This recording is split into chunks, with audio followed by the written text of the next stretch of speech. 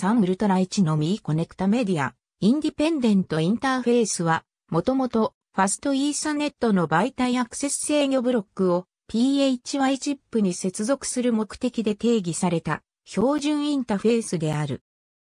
ミー標準は IEEE802.3U で規定されており、様々なタイプの PHY を MAC に接続するのに使われる。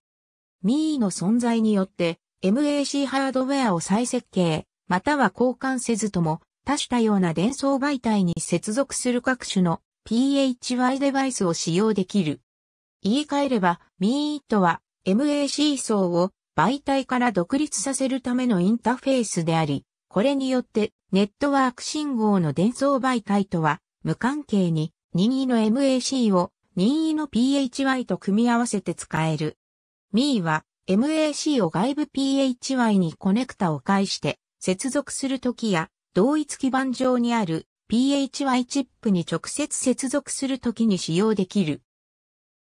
かつては、ミーバス信号を接続するための CNR スロットが PC のマザーボードに搭載されている場合があったが、ネットワーク機能がオンボードで実装されるようになって、廃れた。マネージメントデータインプット、アウトプットシリアルバスは、MAC と PHY の間で管理情報を転送する ME のサブセットである。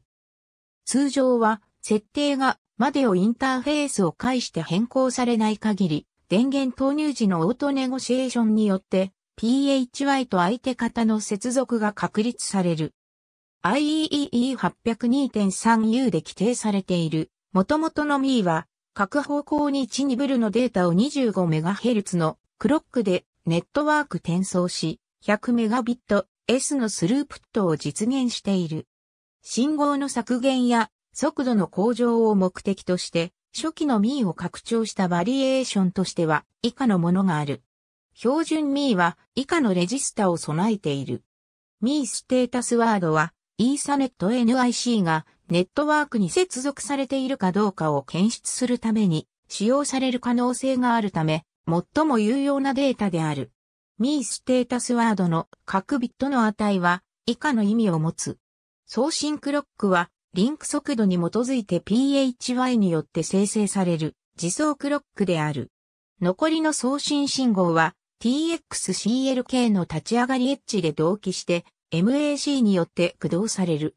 この構成によりリンク速度を意識せずに MAC を動作させることができる。送信化信号はフレーム送信中はハイに、送信機がアイドル状態の時はローに保持される。フレーム送信中に一つまたは複数のクロック周期の間送信エラーが発生することがある。これはフレームが有効であるとして受信されるのを妨げるためにフレームを故意に破壊するよう何らかの目に見える方法で PHY に要求するためである。この機能が使用できない場合、MAC は信号を省略することがあり、その場合、信号は PHY に対してローに固定されるべきである。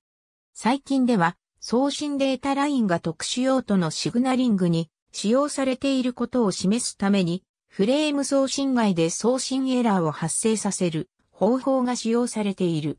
具体的にはデータ値 0B0001 を使用して AA 対応の PHY に低電力モードに入るように要求する。最初の7つの受信機の信号は送信機の信号と全く類似している。ただし、RXER はオプションではなく、受信信号が有効データに複合できなかったことを示すために使用される。受信クロックはフレーム受信中に入力信号から復元される。クロックを復元できないとき、PHY は代替として自走クロックを提示する。必要がある。受信データ有効信号は、フレームの開始時にすぐにハイになる必要はないが、受信データにフレーム開始識別子バイトが含まれるようにする必要がある。プリアンブルのいくつかのニブルは失われる可能性がある。送信と同様に、フレーム外で RXER を上げることは特別なシグナリングに使用される。受信に関してはリンクパートナーが AA 低電力モードにあることを示す 0B0001 と偽のキャリア表示のための例 B1110 の2つのデータ値が定義されている。CRS 信号とコル信号は受信クロックとは非同期であり、半二重モードでのみ意味がありる。送信中、受信中、またはメディアが使用中であると検出された場合は、キャリアセンスがハイになる。衝突が検出されると、衝突が続いている間コルもハイになる。それに加えて、MAC は、コル信号を弱く、プルアップし、コルハイと CRS ローとの組み合わせを、PHY の不在、切断の表示として使用する。MDC とマディオは、複数の PHY で共有できる。インターフェースには18個の信号が必要で、そのうち2つのみが複数の PHY で共有できる。これは特にマルチポートデバイスにとって問題となる。例えば、ミーを使用する8ポートスイッチでは、86にイコール130の信号が必要になる。リデュースとメディア、インディペンデントインターフェースは PHY と MAC を接続するのに必要となる信号の数を減らすために開発された規格である。ミーの規格から以下の4点が変更された。これらの変更は、ミがミーと比較して、約半分の数の信号を使用することを意味する。MDC とマディオは、複数の PHY で共有できる。受信機信号と送信機信号は、同じレフ CLK を基準にしている。このインターフェースは、ミーの18個に対して9個の信号を必要とする。9個のうち、マルチポートデバイスでは、マディオ、MDC、レフ CLK は共有できるので、各ポートで必要なのは6、または7個となる。ミでは 50MHz のクロックを必要とし、データは1クロックに対し2ビットずつ送信される。データは立ち上がりエッジでのみサンプリングされる。レフ CLK は 100Mbit、S モードと 10Mbit、S モードの両方で 50MHz で動作する。その代わり、10メガビット S モードでは、送信側は10クロックサイクルの間すべての信号を有効にしておく必要があり、受信機は10サイクルごとにのみ入力信号をサンプリングする。インターフェースが全二重モードか半二重モードかを定義する信号はないが、MAC と PHY の両方で一致する必要がある。これはシリアルマディオ MDC インターフェースを介して通信する必要がある。インターフェースが 10Mbps または 100Mbps モードのどちらであるかを定義する信号もないため、これもデュプレックス設定と同様に、マディを MDC インターフェースを使用して処理する必要がある。ミコンソーシアム仕様のバージョン1.2では、マディを MDC インターフェースは IEEE802.3U でミーに対して定義されているものと同一であると規定している。IEE802.3 の現在の改定では、リンクの速度とデュプレックスモードをネゴシエートして設定するための標準マリを MDC メカニズムを指定している古い PHY デバイスは古いバージョンの標準に対して設計されているため速度とデュプレックスを独自の方法で設定する。未規格の将来のバージョンでは TX CRSDV がディアサートされている間に TXD0、TXD1、RXD0、RXD1 ピンを介してデータを送信する方法が指定される可能性がある。これにより、マディを MDC シリアルリンクをポーリングする必要がなく、リンク速度やデュプレックスなどのパラメータをリアルタイムで伝達できる。一部の MAC が接続されておらず RX、ER 信号がない場合は CRC を無効にするために一部の PHY でデータを置き換えて対処する。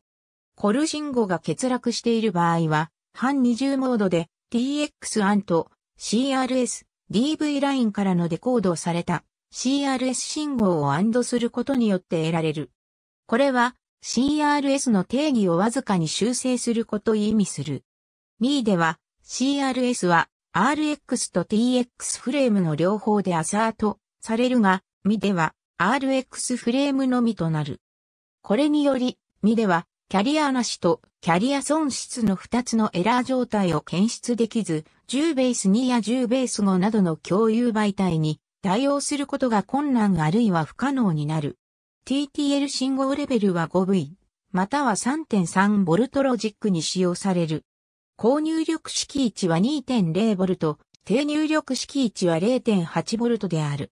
使用では入力は 5V に耐える必要があると規定されているが、ミインターフェースを備えた一部の一般的なチップは5、ボルトに耐えられない。半導体業界のトレンドと両方の IC が通常同じボード上にあるという事実から考えると5ボルト耐性でないのは非常に一般的であり、実際に 5V を駆動するチップはおそらく稀である。5ボルトに耐えられるのは主に古い Mi 専用デバイスに見られる。一方、新しいデバイスは 2.5V と 1.8V の両方のロジックに対応する可能性がある。MAC を実装するのに十分なフプガは通常 5V 体制ではない。未信号は伝送線路ではなく集中信号として扱われる。集端処理やインピーダンスの制御は不要である。これを可能にするためには出力ドライブをできるだけ遅くする必要がある。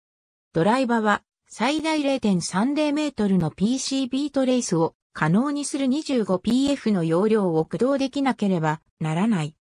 少なくとも、比較では信号を伝送線路として扱う必要はないとしている。ただし、エッジレートが1ナノセカンドで約2.7センチメートルを超えると、伝送線路の影響が重大な問題になる可能性がある。5ナノセカンドではトレースは5倍長くなる。関連する MI 規格の IEE バージョンは68オームのトレースインピーダンスを規定している。未規格では TX ンを交互のクロックサイクルでのみサンプリングするように規定していないため CRSDV と対照的ではなく2つのみ PHY デバイスを背中合わせに接続してリピーターを形成することはできない。ただし、これは、ミモードで補助信号としてデコードされた RXDV を供給するナショナル DP83848 で可能である。ギガビットメディア、インディペンデントインターフェースは媒体アクセス制御デバイスと物理層の間のインターフェースである。このインターフェースは受信用と送信用に別々の8ビットデータパスを使用して 125MHz でクロックされるデータインターフェースを使用して実装され、最大 1000Mbps の速度を定義する。ミー仕様に従って10、100Mbps S のフォールバック速度でも動作する。インターフェース上のデータは IEEE サネット規格を使用してフレーム化されており、プリアンブル、開始フレーム識別し、イーサネットヘッダ、ペイロード、巡回上長検査からなる。GMV インターフェースは IEE802.3Z-1998 の1000ベース X で第35項として最初に定義され、その後 IEEE802.3 から2000以降に組み込まれた。PHY がギガビットか10、100メガビット S のどちらの速度で動作しているかに応じて2つのクロックがある。ギガビット速度では GTX-CL 系が PHY に供給され、TXD、特損、特サー信号はこれに同期する。10、100メガビット S の場合、TXCLK を使用して、これらの信号を同期する。これは、100メガビット S 接続では25メガヘルツ、10メガビット S 接続では2.5メガヘルツで動作する。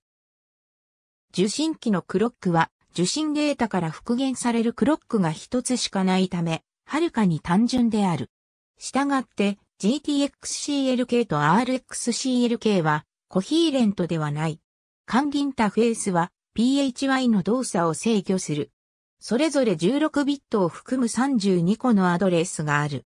最初の16アドレスには定義済みの使用法があるが、他のアドレスはデバイス固有である。これらのレジスタを使用してデバイスを設定することができ、動作モードを決定することができる。リデュースとギガビットメディア、インディペンデントインターフェースはイーサネット MAC と PHY との間の特定のインターフェースを定義する。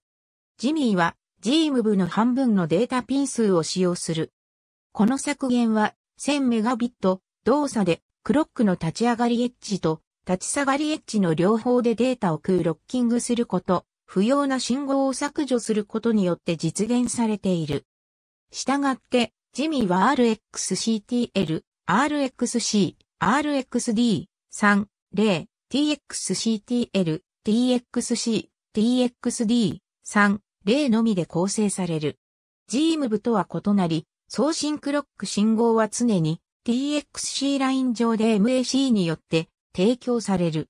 ソース同期クロッキングが使用され、出力されるクロック信号はデータ信号と同期している。このため、シンクのセットアップ時間とホールド時間を満たすために、クロック信号に1.5から2ナノセカンドの遅延を追加するように PCB を設計する必要がある。 RGMII V2.0 では、オプションの内部遅延を指定しているため、PCB 設計者は遅延を追加する必要がない。これらのデータレートを達成するために、データは 1000Mbps、S では立ち上がりエッジと立ち下がりエッジで10、100Mbps では立ち上がりエッジでのみクロックされる。RxCTL 信号は立ち上がりエッジで RxDV を立ち下がりエッジでを伝達する。TXCTL 信号も同様に立ち上がりエッジで特損を立ち下がりエッジでを伝達する。これは 1000Mbps と10、100Mbps S の両方に当てはまる。ジミーバージョン1.3は 2.5VCMOS を使用し、ジミーバージョン2は 1.5VHSTL を使用する。シリアルギガビットメディア、インディペンデントインターフェースは、ミーの一種で、イーサネット MAC ブロックを PHY に接続するために使用される標準インターフェースである。これは、ギガビットイーサネットに使用されるが、10、100メガビット、S イーサネットも伝送できる。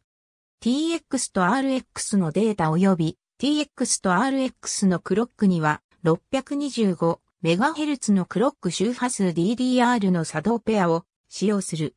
GMB との違いは低消費電力でピン数の少ないシリアル8ビット、10ビットコードインターフェースである。